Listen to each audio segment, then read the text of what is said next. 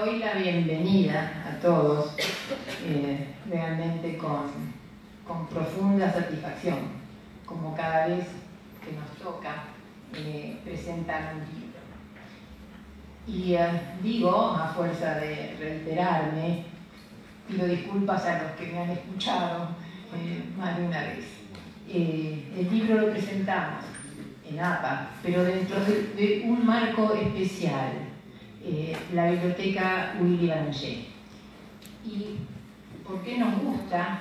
Digo, nos gusta, aquí me está acompañando una colega, Alicia Lagarrigue, que además tiene, perdón, es decir, que es una activa eh, trabajadora, compulsiva y, colaboradora ideal en esta tarea, un tiempo más de dirigir la biblioteca. Un marco especial porque con nuestra institución desde 1942 y se ha convertido, eh, casi sin que nos diéramos cuenta, pero con el auxilio y la participación de todos, en nuestro gran tesoro.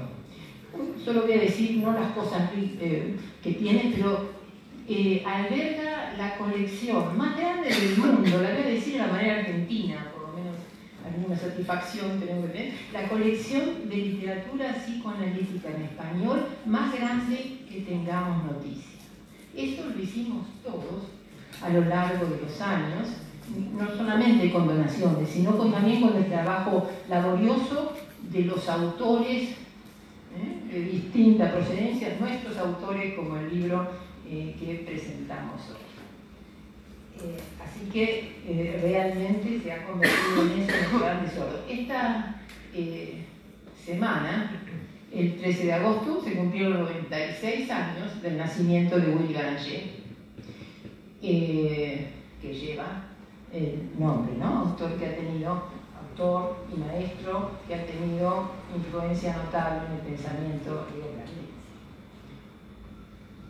Entonces, una vez más, nos une y nos reúne el libro, que en sus 5.000 aproximadamente años de evolución sigue siendo, en el formato que fuere, el reservorio de la memoria de nuestros conocimientos y, empresas fundamentales. Nos convoca hoy un libro psicoanalítico, otra vez, y este caso, en este caso, ahí está, el dolor social de nuestro tiempo compilado por el doctor Néstor Kalinsky, que nos acompaña, el doctor Juan José Falcone, ¿está? ¿O no? ¿No Ah, bueno. Y la licenciada Nilda Rodríguez Rafael. Ha sido resultado del trabajo de investigación y reflexión de un grupo de psicoanalistas. 20 son eh, los autores de los distintos trabajos, organizado dentro de las actividades del Departamento de Psicoanálisis y Sociedad de la APA durante los años 1913 y 1916. Durante... 2013. Ay, perdón.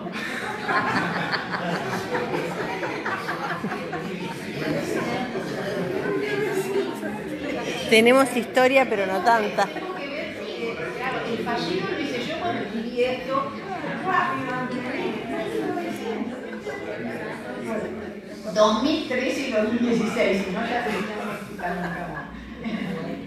eh, durante esos años, el departamento de psicoanálisis y sociedad fue coordinado desde ya por el doctor Néstor Kartiski, que tuvo eh, en esos años una gran actividad. ¿eh? Cuatro años que parecieron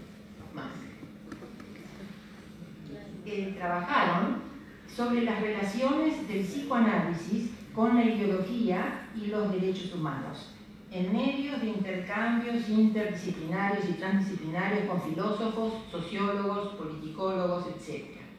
Interesados por investigar las urgencias de la vida. Así te decía Freud. Freud sostenía que toda investigación era producto de esa urgencia, de las urgencias de la vida. Entonces, interesados en esto, en interrogar a la vida y lo que nos mostraba, interrogan las distintas formas de violencia social y los derechos que ella vulnera. Los autores sostienen que el psicoanálisis ni el psicoanalista pueden disociarse del contexto sociocultural que los atraviesa y también los determina, ni las ciencias sociales pueden prescindir de esa otra mirada que aporta la motivación inconsciente en juego. Y al hacerlo, aceptan el desafío freudiano de continuar y profundizar su obra, en este caso ir hacia el develamiento de la realidad social e ir dando estatus propio a la subjetividad social, como dice la doctora, nos acompaña, la doctora Janine Pouchet, en el prólogo. Unas breves palabras, después le vamos a dar eh, desde ya a los comentadores todo el espacio para comentar este rico trabajo, este rico libro. Pero yo quería nombrar títulos y autores, ¿eh? que son muchos, son variados y muy interesantes todos los capítulos, así que los, nombraré. El capítulo de introducción desde ya es del doctor Néstor Karlinsky. El capítulo 1, Más que memoria, construyendo el futuro con memoria. El binaria. El capítulo 2, La violencia social traumática, un desafío a nuestra adaptabilidad inconsciente. El 3, trauma colectivo y reparación social, Julia Brown. El 4, psicoanálisis y comunidad, un proyecto clínico de dos instituciones psicoanalíticas. Y ahí los autores fueron Olga Belmonte Lara, Susana Vos, Carlos Ellinger, Juan José Falcone, Jacobo que por ahí lo veo, ¿eh? Mari Losciovine, Perla Berni, que también está ahí, y eh, son los autores de este eh, trabajo. Kandinsky y Gerardo Rubinstein, los coordinadores. El capítulo 5, Pacifismo, Guerra y lo supranacional en psicoanálisis, por el doctor Juan José Falcón. Capítulo 6, Derechos Humanos, Derecho a la Existencia Individual y Comunitaria, Gabriel Finkelievich. Capítulo 7, Derechos Humanos y Psicoanálisis, Susana Vos, Amelia Calvo, Juan Falcone, Ricardo Frigerio, Margarita Pavón y Nilda Rodríguez Rafaeli, los autores. En este caso, Gabriel Finkelievich es el coordinador el capítulo 8, derecho a la identidad, restitución, apropiación, filiación, nuestra práctica en las abuelas de Plaza de Mayo, por Alicia, Alicia Loyudice, que acá nos acompaña también hoy eh, como comentadora. El capítulo 9, afectos reparatorios de los juicios al terrorismo de Estado, eh, efectos, ¿no? ¿Lo leí? Efectos reparatorios de los juicios al terrorismo de Estado en Argentina. Susana Vos, Amelia Calvo, Juan José Falcone, eh, Ricardo Frigerio, Margarita Pavón, Nilda Rodríguez Rafaeli como autores, Néstor Karlinsky, Rubén Zuckerfeld, Raquel Sonis de Zuckerfeld como coordinador y capítulo 10 finalmente, terrorismo de Estado y derechos humanos, la valentía de Príamo y el fastidio de Marcelo Trenchis, de Rubén Así le damos este todos los trabajos que reúne este libro. Le damos entonces las gracias a los autores porque este libro y la donación, este libro pasa a formar parte de nuestra biblioteca disponible para la consulta de todos. Bueno, ahora les voy a dar, eh, voy a presentar a los comentadores eh, que nos acompañan hoy. Eh, los voy a presentar por el, orden que van a hablar. Permítanme que tengo que recurrir a bueno, la Alicia Loyudice, que está a mi derecha, eh, va, a hacer comentarios sobre obra. psicoanalista, directora del Centro de Atención por el Derecho Humano a la Identidad de Abuelas de Plaza de Mayo, área psicoterapéutica, profesora adjunta consulta en la Facultad de Psicología de la UBA, realiza actividades de grado, posgrado, extensión universitaria. Es investigadora en Naciones Unidas con la problemática eh, de los niños apropiados durante la dictadura cívico-militar en Argentina, en el periodo 76 al 83.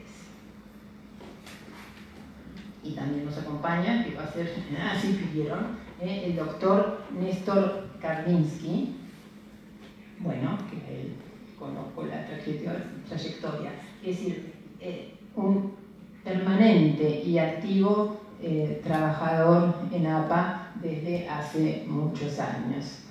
Profesor, eh, didacta de nuestra institución, en actividad, como siempre, profesor, eh, fundador, no sé si fue así, ¿sí? del departamento. Ah, no, yo sé que no, pero Es decir, acá, Jacobo, ¿Cuándo se formó el departamento de, de psicoanálisis y sociedad? Estábamos eh, en, la, eh, en la gestión de... Yo, Cecilia Monche, sí. psicoanálisis y sociedad, hará unos 15 años. Bien. Bueno, sí, ella fue... Luego se transformó en psicoanálisis, ¿no? Cuando estaba Marico, Marico. Ahí está, exactamente. Así es. Es decir, los otros días, bueno, no que se detalle, pero está bueno hacer historia. Es decir, eh, Néstor había aportado, es curioso, a veces, a veces conozco más datos de historia antigua que de historia reciente. ¿eh? Es decir, durante la gestión de Maruco y, por la, es decir, se formó, este, eh, se constituyó este departamento que adquirió a través de Cecilia Mois, a través de Néstor Carlis y a través de todos los interesados ¿eh? en, APA sobre estos temas que empezaron en la institución después de la dictadura, el periodo, ¿eh? el periodo sí, sí, los trabajos inaugurales en esta área fueron el libro de Janine Pouchet, y que ahora me estoy tratando de acordar el nombre del de Janine Pouchet eh, con CAES, con, sí, extraordinario libro sobre la represión de Estado había Aragonés también, ¿eh? Aragonés, acá Aragonés con otro libro, es decir, como abren, ¿no? abren camino en estos trabajos. Eh, Néstor Calvici tiene trabajos realizados juntos, dos, dos libros anteriores, ¿eh? dos libros anteriores eh, con eh, Celia Finalmente tenemos a la doctora eh, Janine Pouchet, que nos acompaña hoy y estamos muy agradecidos eh, por su presencia aquí. Quería comentarles a todos, muchos ya lo saben, ha sido nombrada recientemente eh, doctora honoris causa en la Facultad de Psicología. Es decir, un título más importante para coronar, digamos así, una trayectoria eh, de muchos años, trabajo, producción, relaciones y de hacer psicoanálisis y por el psicoanálisis en Argentina. Eh, pero, como siempre a mí me gusta, tenemos un orgullo adicional, no solo que está acá, sino que se formó acá. Eh, se formó acá, se formó en APA, eh, se va de nuestra institución en el 77. ¿Mm? siempre la leemos, así que es parte, ha, sido parte de nuestras maestras. Em, yo estaba eh, convencida de que había ejercido algún cargo político en Anteba. Ella me aclara hoy que no, que ella cierra, eh, pero acá, sí, acá, Claro, ella, eh, es decir, antes de irse, es decir, en la gestión de Wender, ella trabajó secretaria de Wender, y ahí cierra como la actividad política, porque la PEBA eh, hizo de todo menos meterse en cargos, menos incursionar en cargos políticos. También eh, recibió el premio Sigurni.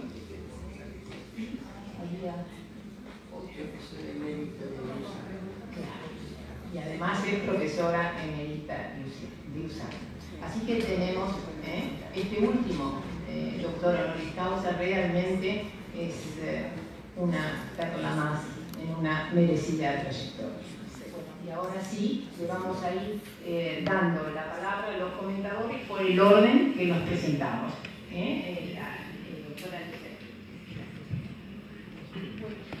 Buenas tardes y en principio agradezco a Néstor Carlini, que fue el que me invitó a participar por un lado en la presentación del libro, porque anteriormente me había invitado al espacio de Sociedad y Psicoanálisis, donde presenté parte de mi trabajo en Abuelas, producto del cual este es el, texto que escribí para este libro. Entonces, eh, me gustaría iniciar con una cita de Jacques Lacan en el Seminario 7, que es la ética del psicoanálisis, el capítulo 5, la página 76, en donde menciona que Freud plantea que la reacción de dolor se produce debido al hecho de que la reacción motriz, la reacción de huida, es imposible en la medida en que la estimulación, la excitación proviene del interior. Entonces la cantidad que el dolor como un campo eh, que en el orden de la existencia se abre precisamente en el límite en que el ser no tiene posibilidad de moverse. Entonces se pregunta, ¿acaso no se abre allí un no sé qué percepción de los poetas como el mito de Dafne, transformándose en árbol bajo la presión de un dolor al que no puede escapar? ¿No es cierto acaso que el ser vivo que tiene posibilidades de moverse nos sugiere hasta en su forma lo que podría denominar un dolor petrificado? ¿Acaso no hay en lo que nosotros mismos hacemos del reino de la piedra, en la medida que no la dejamos rodar más, en la que dijimos, en que hacemos de ella algo detenido? ¿Acaso la arquitectura misma no es la presentificación del dolor? Lo traigo porque me interesó el tema del dolor petrificado, que creo que el libro mm. da cuenta en muchos aspectos de esto. El título del libro nos habla del dolor social de nuestro tiempo, en el que la violencia nos deja expuestos a un desamparo radical que afecta a la subjetividad contemporánea en donde surgen sus nuevas formas. Cuando la violencia proviene del Estado, la indefensión se acrecienta porque de donde se supone que viene la protección deviene engendrador de nuevas violencias. El paradigma de dicha violencia en nuestro país fue la catástrofe social que provocó la dictadura cívico-militar, que tanto genocidio produjo un trauma histórico que propició, por un lado, el desanudamiento de lazos, pero que por otra parte permitió nuevos anudamientos entre ellos los organismos de derechos humanos que se organizaron para hacer público lo que se pretendía privado y oculto, produciendo una alianza en el poder totalitario. A partir de la democracia, diversas organizaciones civiles tomaron iniciativas para hacer escuchar sus reclamos en el público. El libro da cuenta de las diversas situaciones sociales que los practicantes del psicoanálisis han intentado interrogar, cuestionar, proponer. Es decir, habiendo un espacio crítico y también activo, formando parte y o acercándose a diferentes prácticas sociales en donde el psicoanálisis puede incidir. Podemos tener una incidencia en lo público porque hay una comunidad de intereses entre el discurso analítico y la democracia analistas que pueden participar y ser sensibles a las formas de segregación, ayudando a la civilización a respetar la articulación entre las normas y las particularidades individuales, porque la particularidad de cada uno puede transformarse en algo útil, en un instrumento comunitario. Los diez capítulos del libro, su prólogo y su introducción, abren el camino para ubicar la incidencia de lo social en nuestra parte y nuestra práctica que forma parte de nuestra historicidad. A lo largo del mismo podemos ubicar cómo se sitúan las políticas neoliberales que producen un nuevo tipo de subjetividad, concluyendo la castración, práctica a la que aspira el discurso capitalista en tanto biopolítica, de acuerdo a los planteos de Michel Foucault, que implica el ejercicio del poder cuyo objetivo son los cuerpos individuales para hacerlos políticamente dóciles y económicamente provechosos. La función del poder es invadir enteramente la vida, se trata de la administración de los cuerpos y la gestión calculadora de la vida. Yo voy a situar brevemente cada capítulo para los que no lo oyeron se entusiasmen y quieran leer. Encontramos en el texto de Lina Guiar una reflexión acerca de construir un futuro con memoria, advirtiéndonos que los horrores del pasado quedan fijados en el presente e interroga la forma de impunidad vigente bajo diferentes fachadas. Nos señala la peligrosidad de construir una subjetividad empobrecida, marcada por el miedo y de la naturalización de los sistemas de exclusión y la subjetividad colonizada. Silvia Matizás nos habla de la violencia social traumática y propone desafiar nuestra adaptabilidad subjetiva para evitar sus traumas. Toma conceptos de José Blecher como ambigüedad y depositación y propone que el tratamiento con pacientes, eh, el tratamiento con pacientes deslegitimar la violencia sufrida oponiéndose claramente a ella. Con el caso ATEA nos hace partícipe de los avatares subjetivos durante el tratamiento entre paciente y analista que permite situar lo vivido como camino necesario para evitar la vida. Podemos leerlo como un claro ejemplo para ubicar la pequeña historia dentro de la gran historia como nos propone François Draguin y Jean-Marc Godillet. Julia Brown, en su trabajo, hace un puente con un trabajo anterior que compartió con nuestra querida y recordada Marilu Pelento, en el que trabajaban con rigurosidad psicoanalítica la pulsión de saberes duelos especiales, como así llamaban a las producidas por la desaparición forzada de personas por razones políticas. Nos describe los diferentes momentos de esta situación, eh, que esta situación trae a los familiares afectados y propone el vacío y el, relleno y la reestructuración como trabajo necesario para situarse y poder elaborar subjetivamente lo acontecido, ubicando que se trata de un desastre provocado por el hombre, constituido por el horror y la muerte ejecutada por congéneres, que lleva al colectivo social al desamparo extremo ejercido en desproporción y la crueldad de las relaciones de poder entre víctimas y victimarios.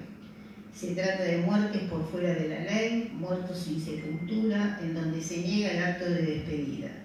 Ubica la dificultad en el trabajo psicoanalítico con pacientes afectados, ubicando procesos de historización en donde lo personal no puede ser ajeno a las soluciones sociales señala que lo social puede generar diferentes espacios para socializar la pérdida y lograr que lo social tome el tema para hacer efectivo la memoria, la verdad y la justicia.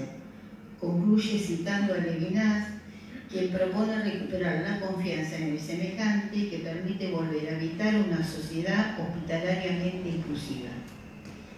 El trabajo siguiente está escrito por un grupo que citó, los voy a volver a citar, Olga Belmont de Lara, Susana Voz, Carlos Iliker, Juan José Falcone, Jacobo Gutman, Mari Longivione, Perla Bernic, con la coordinación de Ernesto Carlicki y Gerardo Rubinstein, en donde se propone ubicar las consecuencias subjetivas ante una realidad social particularmente traumática y avasalladora como producto de la crisis de los años 2001-2002. La desocupación ocupa la escena como, con consecuencias en las personas, y encaran un trabajo grupal e individual o con afectados, eh, desplegando diferentes acciones para incidir en las subjetividades afectadas para que no queden paralizadas y ofrecer un espacio para que el sufrimiento psíquico pueda ser elaborado subjetivamente que les permita la distancia necesaria para ponerse en acción. Juan José Falcone nos trae la conflictiva de la guerra y de la paz y sus diferentes formas, ubicando los cambios producidos en la actualidad de las guerras y su diversidad. Hay una inventiva a favor de lo peor que puede llevar a la destrucción de la humanidad. Agresión, filicidio, pacifismo se despliegan a lo largo del texto. Ubica la agilidad del hombre a sus propias tendencias agresivas. Cultura sublinatoria y simbolización por un lado, o cultura denegatoria y conclusiva por el otro. Nos recuerda del intercambio de correspondencia entre Israel y Flor. Hace hincapié en lo que se plantea acerca de la guerra y lo poco que se habla acerca de la paz. El pacifismo implica la pluralidad y el reconocimiento de los derechos civiles. El peligro es desconsiderar la, la muerte propia y la posibilidad y deseo de muerte del prójimo. Gabriel Finkielevich nos alerta acerca del peligro de abolir los derechos humanos, dado que de esa forma se ataca la identificación secundaria y genera estados desubjetivantes, dejando a las personas en el estado de desamparo e indefensión anímica. El neoliberalismo inventa nuevas subjetividades, arrasando el imperante del colectivo social e individual, dando lugar a lo ilimitado del goce como forma de suturar la insatisfacción. Así el ser humano se convierte como cosa servible o inservible. Ya no hay culpa por el otro, no es semejante. Se trata de una subjetividad deshistorizada y ubica el desafío para el psicoanálisis en tanto posibilitador, de transformación y diferencia. El siguiente trabajo lo han escrito Susana Voz, Amelia Calvo, Juan Falcone, Ricardo Frigerio, Margarita Pavón, Hilda Rafaeli, con la coordinación de Gabriel Finkelievich plantea que el accionar del terrorismo a Estado al vulnerar los derechos humanos y su desmentida de la atrocidad de los actos cometidos afecta al tejido social. Proponen que el identicidio operó sobre dicho tejido sostenido en mecanismos de desmentida y disociaciones consecuentes. Se trata de explorar el poder de la palabra en situaciones límites, realizando un estudio del discurso psicoanalítico y de las ciencias sociales. Yo voy a hacer una aclaración, un punto de diferencia que tengo con este texto. Debo aclarar que se refieren a la apropiación de niños durante la dictadura cívico-militar y no se puede hablar de adopción ilegal, porque no existe. La adopción solo puede hacerse legalmente si no se trata de una apropiación a lo que nosotros desde abuela denominamos filiación falsificada, que en épocas de democracia también produce el tráfico de niños. Digo porque es una cuestión que siempre se confunde y prefiero aclarar. El siguiente texto, ya no falta mucho, Susana de Voz, Amelia Calvo, Juan Falcone, Ricardo Frigerio, Margarita Pavón, Rita Rafaeli, con la coordinación de Néstor Carlicki, Rubén Zuckerfeld y Raquel Solis de Zuckerfeld, parten de plantear la importancia de los juicios a los responsables del genocidio en Argentina hacen un recorrido que parte del histórico juicio a las juntas militares realizado al inicio de la democracia y los derroteros que hubo que atravesar para llegar a los juicios actuales. Señalan lo necesario que en el espacio social el tema puede ser compartido para no profundizar el daño a los afectados que haría más difícil la vida y su reparación psíquica el individual la reparación a través de un espacio analítico para inscribir lo sucedido a través de un trabajo de elaboración.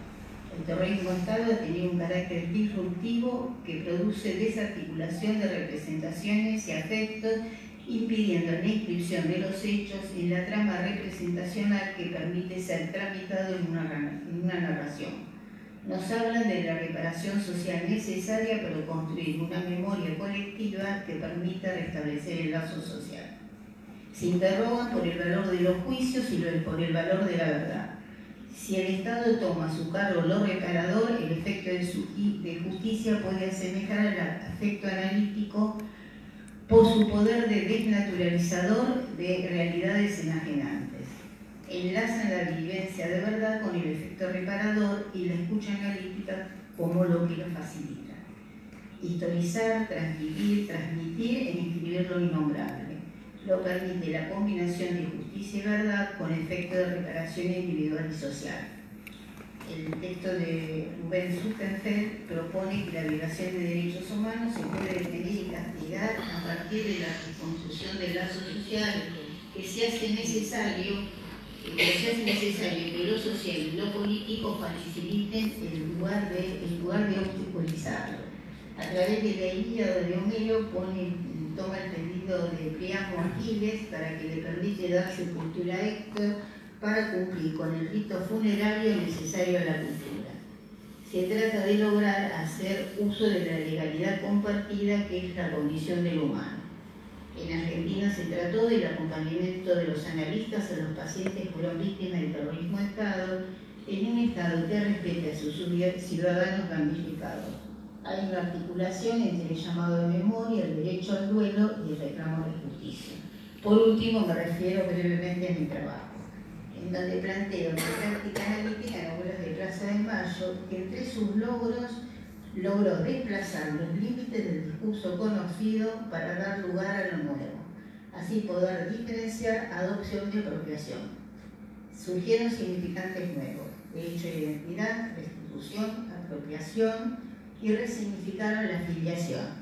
Y no puedo dejar de nombrar que hace dos semanas se recuperó un nieto. Sí y me conmovió uno de los hermanos, este hombre de 42 años restituido, planteó que se suele decir que se restituye una persona, pero él pensaba que se restituía el amor robado durante 42 años, cosa que me conmovió.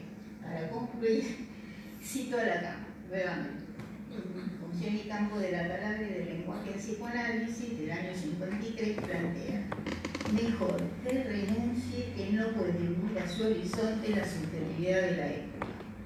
Pues cómo podría ser de su ser el eje de tantas vidas aquel que no supiese nada de la dialéctica que lo lanza con esas vidas en un movimiento simbólico, que conozca bien la espera a la que su época lo arrastra en la obra continuada de Babel y que sepa su función intérprete en la discordia de los lenguajes. Podemos, podemos proponer, como lo señalo en mi trabajo, impregnarnos de nuestra experiencia ubicar no solo lo que el psicoanálisis nos enseña, sino lo que dicha experiencia, el dolor social de nuestro tiempo, nos abre a la interrogación psicoanalítica. Creo que el libro es su testimonio.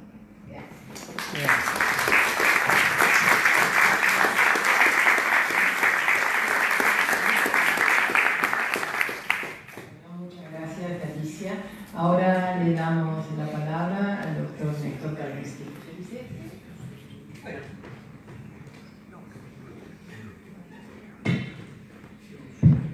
Bueno, lo primero que quiero enfatizar, al tener hoy la satisfacción de la aparición de la presentación de este libro en APA, es que ha sido el resultado de un esfuerzo colectivo. El de un grupo de psicoanalistas que coordiné desde el año 2012 ha sido este grupo entusiasta, dedicado y militante, que se dedicó a estudiar la, cómo la, idea de que el psicoanálisis tiene la posibilidad de hacer aportes a la subjetivación social, como lo señala Janine Bourget. Recibimos ayuda en las elaboraciones de este grupo no solo de psicoanalistas, sino de personas que aportaron una variada gama de conocimientos, de filósofos, comunicólogos, juristas, como nos ha señalado Lidia Bruno, hasta, hasta de dos caciques indígenas. Nos acompañaron con conferencias, elaboraciones y polémicas. Bueno, eh, ha nombrado a, los autores, eh, Lidia y luego también este, Alicia. Eh, quiero también mencionar, este, también ha sido ya mencionado, que también hay un capítulo eh, de otra etapa, eh, donde trabajamos con 1.200 familias de desocupados, en la y arriba. Este, y creo que hoy es una satisfacción eh, muy especial esta presentación, porque aquí se gestó este libro y es el resultado del esfuerzo de mucha gente que estamos interesados en relacionar el psicoanálisis este, con el entorno social que tenemos sin la colaboración de todas estas personas, de, estos grupos y de la gente que, vino a acompañarnos en conferencias y polémicas, sin la colaboración de todas estas personas, esos años de trabajo no habrían culminado en la presentación de este libro, cosa que sentimos como un acto de militancia, no partidaria, donde nuestro interés por el tema de los derechos humanos en nuestro medio y en el mundo no pasa por la adhesión a ningún grupo político, ya que somos un grupo pluralista. No somos, sin embargo, neutrales. La neutralidad frente a los fenómenos sociales que atentan contra el bienestar y la vida de los seres humanos está emparentada con la naturalización de las violaciones a los derechos humanos. Neutralidad, naturalización, negacionismo son términos que se refieren a evitar el dolor, la culpa o el terror que el registro de las violaciones a los derechos humanos puede producir en todos nosotros, víctimas o no, allegados o no a las víctimas. Voy a comenzar por referirme a uno de los conceptos que trabajamos durante la preparación de este libro, en la ideología. Y ir, naturalmente, desde una mirada psicoanalítica. Para nosotros, la, la, la ideología sociopolítica es el esquema organizativo que articula los deseos conscientes e inconscientes de cómo preferimos que funcione la sociedad en que vivimos. Esto es una paráfrasis del concepto de imaginario social de Castoriadis, De esto nosotros incluimos también la idea de deseos conscientes e inconscientes.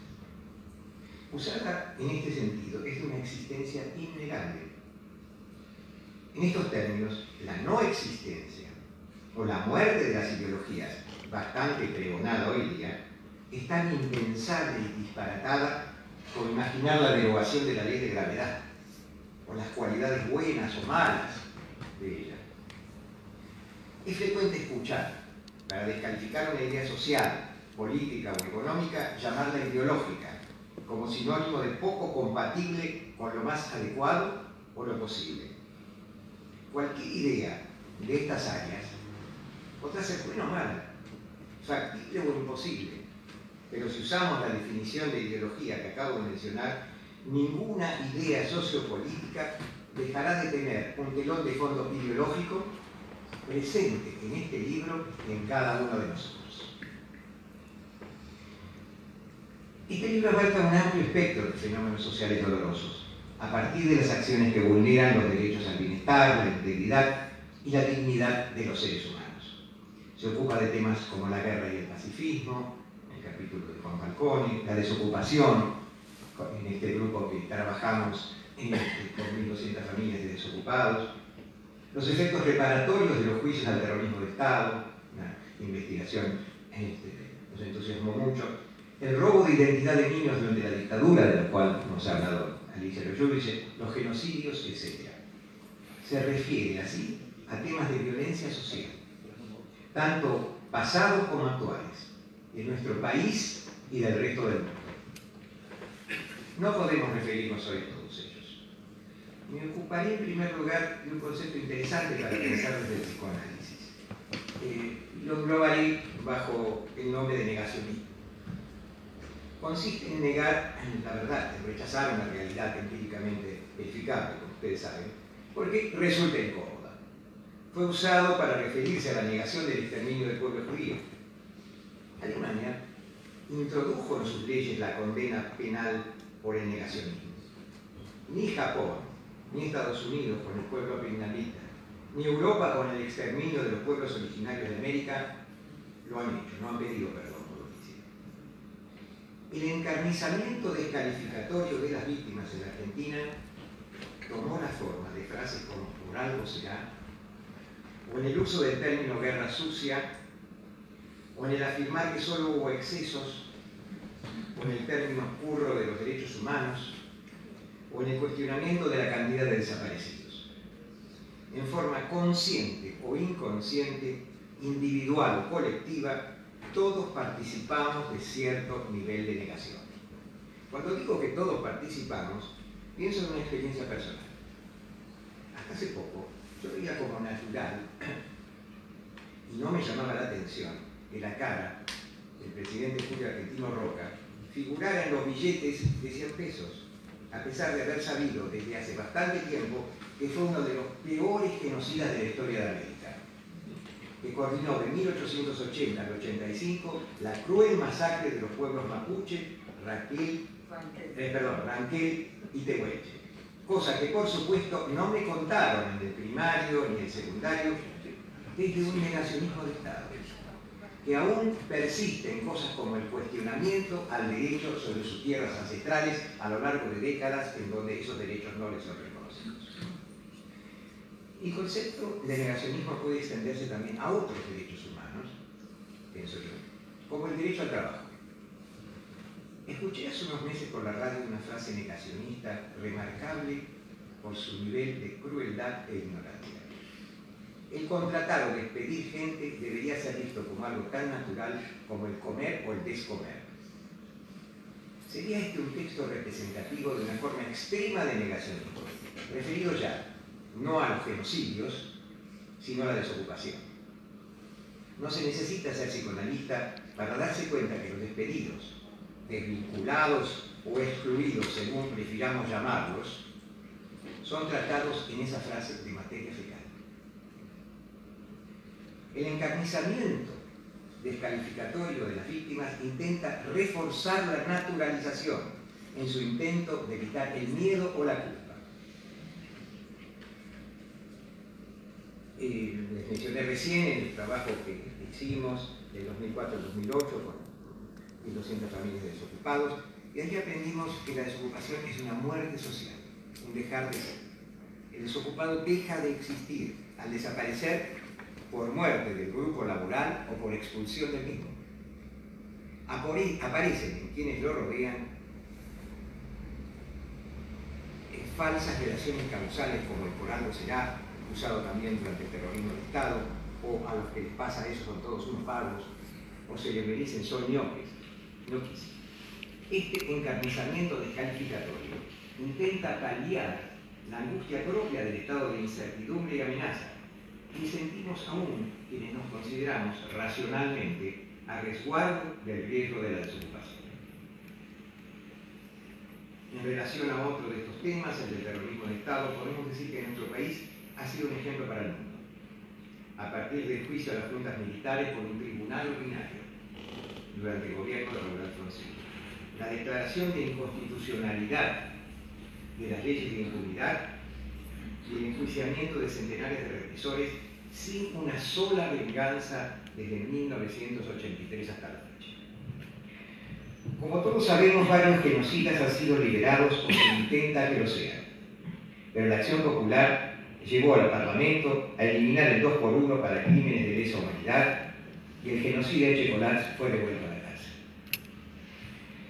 También nos enteramos por el diario La Nación en otras latitudes el contador de Auschwitz seguía preso a los 96 años. Deseamos que quienes manipulan e insisten en la liberación de los genocidas locales lean también ese tipo de noticias. El enfrentar el negacionismo consideramos que es posible. Este libro encara la naturalización de la temática de las violaciones a los derechos humanos que tienden a ser vistas como parte de un entorno supuestamente inevitable la posibilidad de aportar y también hacerlo del psicoanálisis a la desnaturalización. La acomodación a las violaciones a los derechos humanos se cuela a los recovecos de nuestra mente en aras de evitar el horror por lo ocurrido y el temor personal a los riesgos futuros por los que nos sentimos amenazados de forma consciente o inconsciente. La naturalización de las violaciones a los derechos humanos puede ser enfrentada, como les decía, en un intento de desnaturalización al cual, insisto, podemos contribuir los psicoanalistas. La reciente declaración de FEPAL que llama genocidio psicológico en la separación de padres e hijos de inmigrantes hechos en Estados Unidos por el gobierno de Donald Trump, es un ejemplo que los psicoanalistas podemos aportar a la desnaturalización de las violaciones a los derechos humanos. Yolanda Gampel nos decía que la naturalización incluye obviedad e indiferencia hacia cualquier contexto social. También podemos pensarla en términos de la maleabilidad de la parte psicótica de la personalidad. Para no caer en ella, la naturalización, debemos desafiar nuestra tendencia inconsciente a la adaptabilidad. El concepto de genocidio, el cual trabajamos en este libro, se refiere a una forma masiva de dolor, provocado por un grupo o una comunidad a otra, como resultado de una violencia en gran escala. Se trata de un dolor y de un recuerdo muy difícil de inscribir en una cadena asociativa. Precisamente el trabajo de los psicoanalistas con víctimas eh, tiene mucho que ver con esa posibilidad de inscripción donde falta la huella. El efecto reparatorio de los juicios, es decir, su poder de reparación social, parece depender de la percepción de justicia y de verdad, es decir, es directamente proporcional a esos valores culturales. A mayor justicia, mayor verdad y viceversa. No podría haber justicia si no hubiera verdad, y no debería haber verdad sin justicia. Es su combinación, como señalamos en el capítulo sobre efectos reparatorios de los juicios, es su combinación lo que produce el efecto reparatorio, es decir, la reparación social facilitadora de la reparación individual. La transcripción por parte de un psicoanalista, tanto en un tratamiento individual como en una formulación colectiva, como intentamos en este libro, permite o intenta su inscripción en el psiquismo y el inicio de la posibilidad de elaboración y por ende de reparación. Los seres humanos tenemos la expectativa idealizada de, que la sociedad continúe el orden y protección de las figuras parentales. De ahí la particular perplejidad y la tendencia a la negación con que frecuentemente recibimos estas realidades sociales traumáticas y la dificultad para responder a la necesidad perentoria de ampliar el imaginario social que nos habla Castoriades para abarcar los duelos sociales. Algunas prácticas ominosas de la realidad social de épocas recientes o actuales, como la tortura, el terrorismo de Estado y sus secuelas, la desocupación y otras formas y grados de violencia social, afectan la capacidad de simbolización y hacen surgir los siniestros. A diferencia del miedo como advertencia, como señal de alarma, los siniestros funcionan como amenaza de desintegración y pierde así el aspecto útil para la supervivencia que tiene la angustia. Las condiciones de seguridad que brindan al bebé los padres y lo social estable al adulto, cuando existe lo social estable, son destruidos por la violencia social. La orfandad social tiene así elementos de los siguientes. Eh, voy a concluir mencionando algo que también citó Lidia Bruno los autores de este libro pensamos que el psicoanálisis puede disociarse del contexto sociocultural en el que se lo ejerce o se lo piensa, ni las ciencias sociales pueden excluir de su mirada las motivaciones inconscientes en juego. Terminaremos también reiterando lo que dijimos al comienzo. El psicoanálisis está en condiciones, como lo viene demostrando, de hacer aportes a la subjetivación social. Este es el enfoque con el que estudiamos en este libro el dolor social de nuestro tiempo.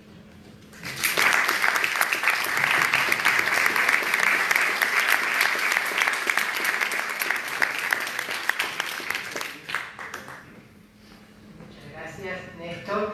Eh, tengo que aclarar algo. Él no repitió lo que dije yo, yo repetí lo que dijo él.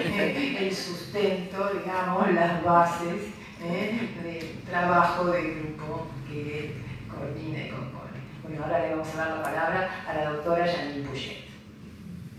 Mi tarea es difícil porque la verdad que han hecho presentaciones excelentes y muy atinentes al texto y presentación detallada de cada capítulo y Néstor, bueno, un enfoque general de la condiciones en las que fue la idea que tuvieron al constituir este libro. Por un lado es difícil, por otro lado me ahorra el trabajo de hacerlo. es una ventaja para mí también, ¿no?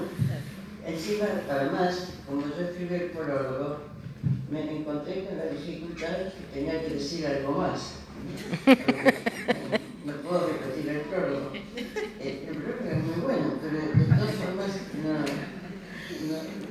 No puedo repetirlo.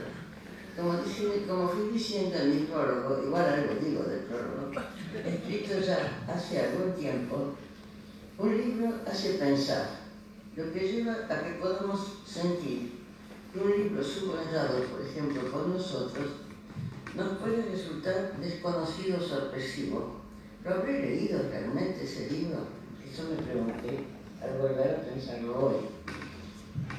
Vemos algo, algo que no había... ¿Será que la nueva lectura nos lleva a pensar algo que no habíamos visto? Ese otro momento vital, lo aprendido ya no, sirve, hay que pensarlo de nuevo. Eso creo que nos pasa a cualquiera de nosotros, empezando por la lectura de Freud, pero cualquier otro libro bien subrayado que sabemos que hicimos de comentarios de costado, resulta que pensamos que no, no lo hemos leído. Este libro en especial con el tema que trae, evidentemente no nos vamos a acabar con ese libro, el tema del dolor social. Lo único que hace es abrirnos las puertas a seguir pensando. En este caso, o sea, que hoy nos obliga, vuelvo a experimentar esta misma sensación. ¿Cuánto hay hecho? ¿Cuánto hay por hacer para que los psicoanalistas que tienen que ocuparse del dolor social puedan hacerlo? ¿Tenemos las herramientas para hacerlo? Me pregunto. No hablemos de cuánto, cuánto el mundo tiene que aprender acerca de cómo manejarnos en la vida para que no se produzcan esos dolores incurables. La medicina a veces descubre nuevos paliativos, pero a nivel social sabemos cómo descubrirlos y aceptamos que solo sean paliativos y que que crear otros modos, otras formas, otras herramientas que nos permitan enfocar los efectos del dolor social. En este caso, los autores tuvieron como tema central las violencias sociales, como recién lo dijo Néstor, el terrorismo de Estado, los derechos humanos, las políticas y sus efectos y temas afines. Analizan los efectos de diversas crisis, por supuesto dando especial importancia a la que tuvo que ver con la dictadura, para luego ocuparse de las crisis relacionadas con las políticas económicas las que a su vez crearon nuevos significantes que hacen a las nuevas situaciones creadas. Aquí abren un campo específico que estamos lejos de saber cómo encarar, porque además cambian cada día y dependen de los gobiernos, de las políticas económicas y de la particularidad de cada región y de cada cultura, de las políticas mundiales dominantes. Hace ya bastante tiempo había escrito un artículo sobre el que llamé en su momento el reconocedor privilegiado. Y en él, en él decía que cada situación requiere un reconocedor que depende de la misma situación. No es lo mismo que nos reconozcan nuestros familiares en determinados momentos de la vida, a que nos reconozcan estamentos sociales adecuados. De ahí nace la importancia de los juicios. Las familias, los amigos saben que hemos tenido desaparecidos cercanos, un poco más lejanos, pero esto no alcanza para sentir algo más pasa, porque este dolor es provocado por el Estado, en ese caso la dictadura, pero eh, necesita un reconocedor, privilegiado. Se me ocurrió entonces pensar si este modelo no podría ir abriendo algún nuevo camino para pensar los dolores sociales y la especificidad de, ellos en función de la época, del tipo de situación que puede llamarse dolor social y algunas otras cosas más que tenemos que ir detectando.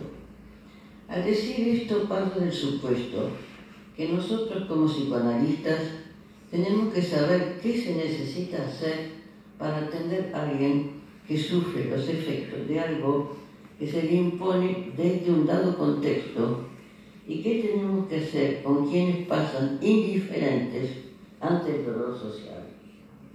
Indiferencia, silencio, negacionismo, como decía Néstor, No es asunto mío, dicen la gente, esto ha pasado, pero yo no tengo que ver.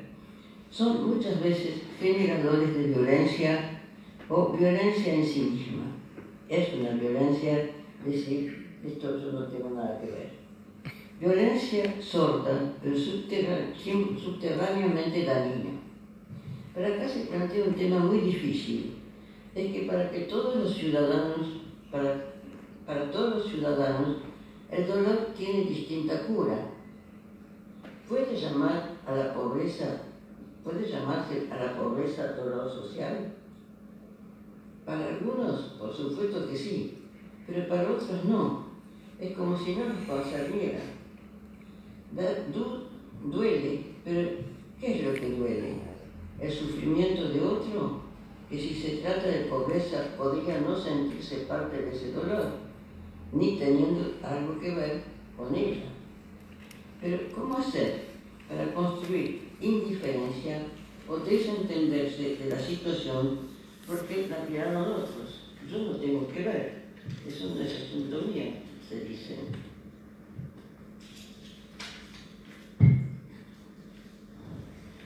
La indiferencia es otro de los males de este momento, pero no solo ante la pobreza, sino ante crisis ante otras manifestaciones de dolores sociales, como lo es la situación de las migraciones forzadas en diversos continentes.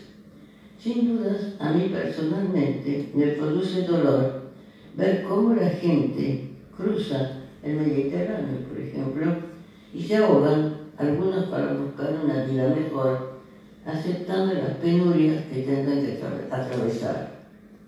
Y las penurias son muchas veces porque tiene que ver con que además haya quienes, o se espera, que haya quien quiera hacerles un lugar en espacios que a veces no los conciernen. Muchas veces en Europa se dice, bueno, no es problema mío, eso lo tendrán que resolver los estados. Me produce dolor ver gente durmiendo en la calle a la intemperie, sabiendo que mi hacer es un paliativo menor, pero no por ello deslenable.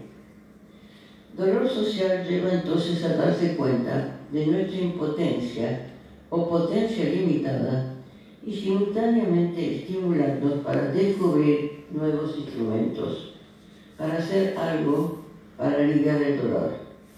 Y estos instrumentos tienen que ver con un hacer específico, pero siempre ha doble punta, o sea, para quienes son los que están heridos, pero también para que los otros, los que supuestamente no tienen nada que ver, no sigan desarrollando la maldita indiferencia.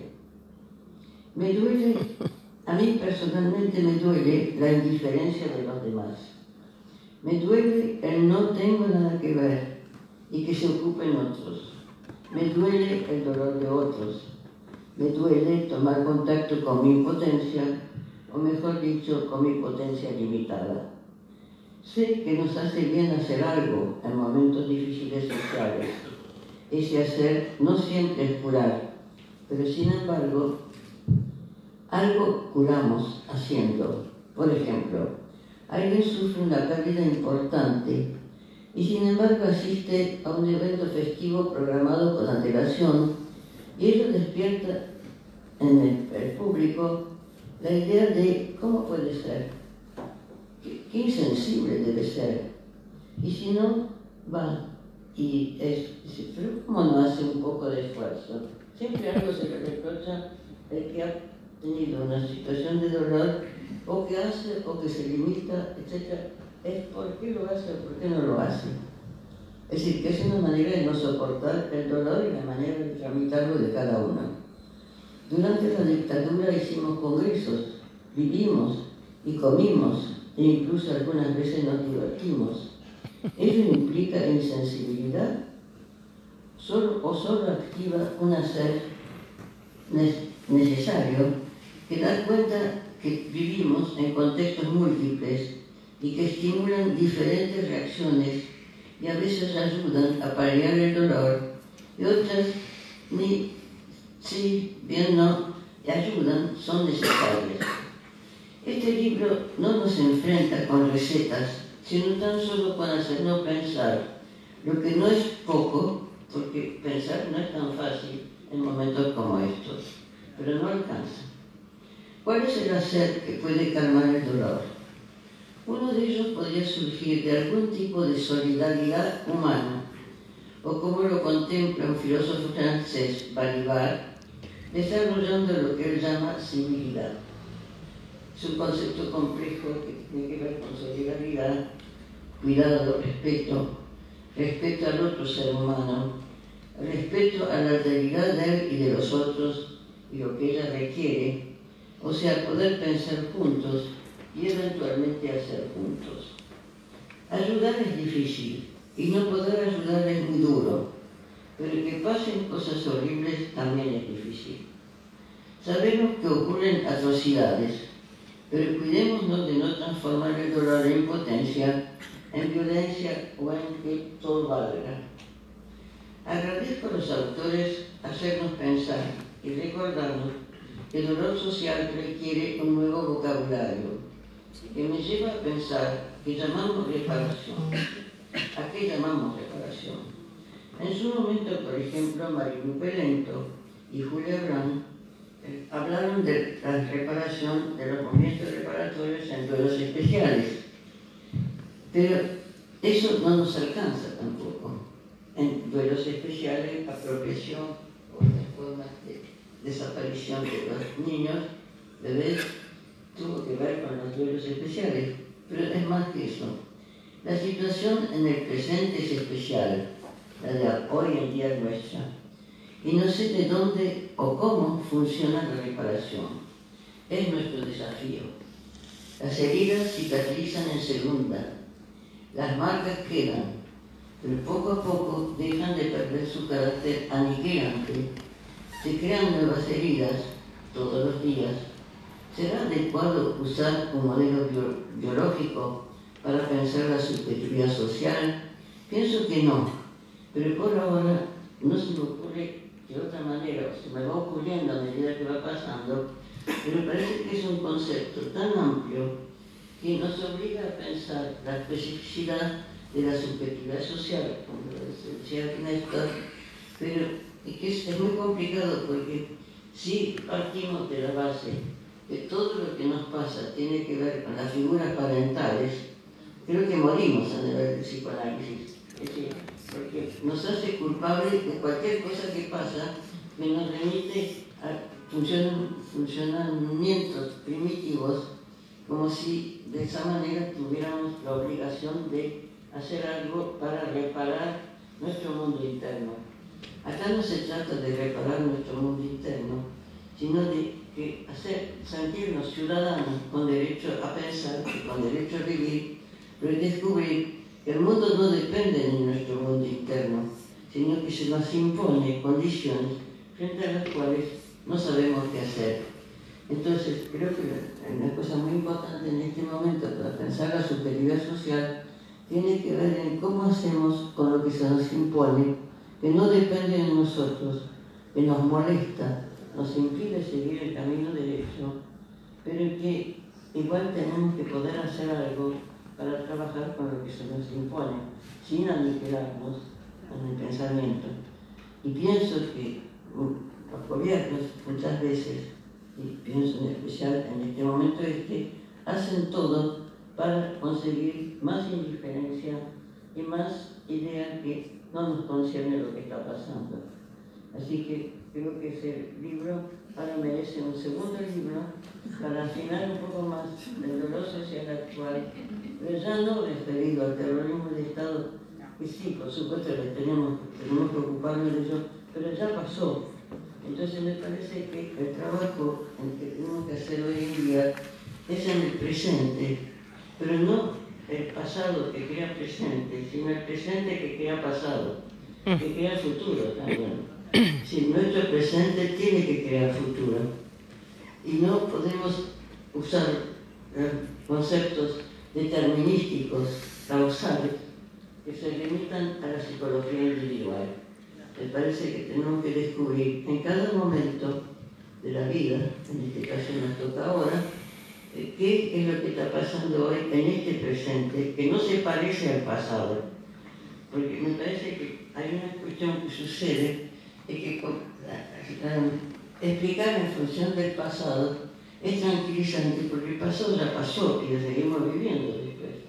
Entonces, es como decir, bueno, no es tan grave porque si tuvimos eso y seguimos viviendo, este presente no es tan importante. Y no es verdad.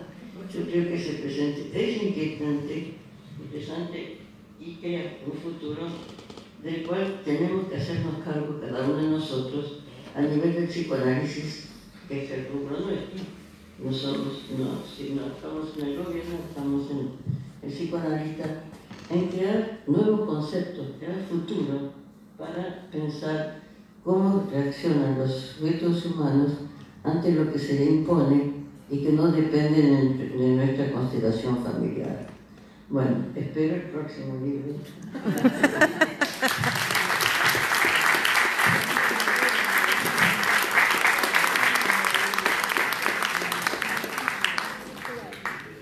Muchísimas gracias, doctora Janine Boucher. Nos ha planteado, eh, o no exactamente, podemos hacer, nos ha planteado nuevos desafíos. Realmente abrir camino. Le agradecemos mucho.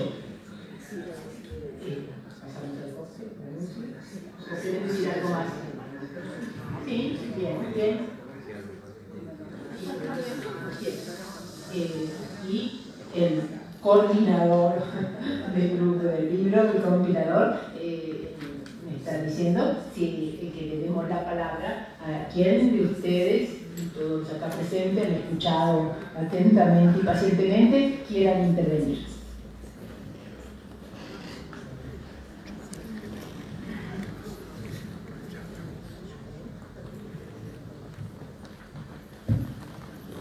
Después tenemos cóctel para brindar. ¿eh? Así que, traten de no irse. Mm, Yo no soy psicoanalista. Yo soy parte de todos estos procesos que han ocurrido desde la dictadura, pero hoy quiero agradecerles a los autores y a los expositores este libro, porque yo lo necesitaba. Militante en todos lados, o, es decir, este libro me va a permitir aclarar cosas que en mi psicoanálisis individual no pude resolver y que seguramente van a estar respondidas. Y hoy agradezco porque lo que agregó la última doctora dio un punto clave eh, que no pensé que iba a descubrir o me iba a recibir de esto que dijo, que fue una referencia puntual en relación a que eh, nos impone algo hoy, un gobierno o una situación internacional, el dolor, y que no hay que referirlo al pasado porque eso no nos deja ver el futuro. Y yo le digo que a esa frase me parece maravillosa, porque inmoviliza la angustia de un pasado, pero es cierto su afirmación, que es claro sentir que aunque estemos en democracia, puede ser, yo le agrego, peor el futuro y no refugiarnos en el pasado. Porque la democracia, el enemigo está dentro de la democracia y antes la lucha era más clara. Entonces, en este proceso de individualización, había una escala de valores que estaban claros hacia dónde íbamos. Pero lo que usted ahora mencionó al doctor, que lo de la eh, indiferencia o no tengo nada que ver, son todas esas confusiones que se introducen en la democracia desde esos poderes externos o internos. Y no se imaginan lo que hoy significa que yo haya podido venir acá. Les agradezco porque la parálisis que algunos estamos sufriendo este, en procesos de entrar y salir y de cómo hacer o no hacer, o lo que escribí esta semana era, estoy encontrando un hilo, algo para volver a conectarme a la realidad, porque a veces es fulminante lo que uno ve repetido en un escenario diferente que es peor que la dictadura. Gracias.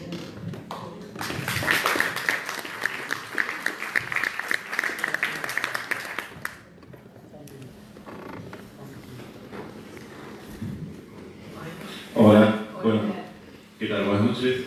Bueno, a mí me va a tocar este, reseñar este libro para la revista de APA. Este, y ayer me gustó que dijo Néstor eh, esto de presentarse como militante en la pluralidad, ¿no? Porque para mí el psicoanálisis es una política, el psicoanalista es un político, ¿no? Es un político de la producción de alteridad en forma permanente. Y como dijo Janine, el pasado no es que pasó, sino que se repite en forma siniestra bajo nuevas máscaras. Antes fue la dictadura militar, ahora es el imperio de lo que se llama algunos el neoliberalismo o las nuevas formas de individualismo ultranza que terminan eliminando las diferencias y el reconocimiento por el otro. Así que, bueno, espero leer con mucho placer este libro y, bueno, de enterarme de formas de pensamiento que tienen que ver con, nuestra historia y nuestra práctica psicoanalítica. Gracias. Gracias, Juan.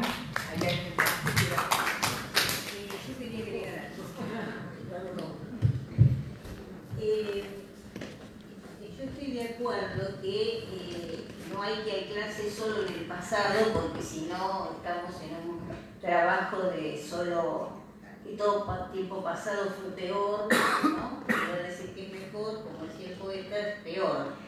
Pero me parece que también hay que pensar que no todo lo del pasado pasó. Me parece que eso es lo que hay que tener en cuenta.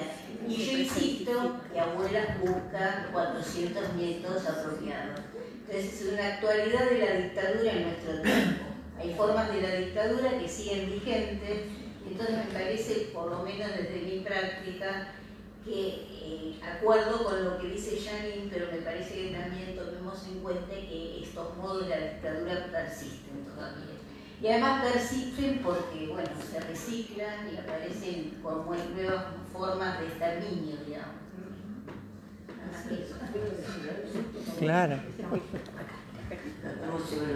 No, desde ya no pienso que el pasado pasó, sino pienso que a veces se confunde lo que sí pasó, el terrorismo de Estado, y el dolor social de hoy, de este presente. Entonces me parece que homologar situaciones nos impide ver la particularidad de cada una. Entonces yo, por supuesto, respeto lo que sigue siendo doloroso y que tenemos que seguir encontrando, pero que eso no, es, no nos ayuda a pensar el dolor social de hoy en muchas circunstancias. Uno de ellos especialmente referido a la pobreza.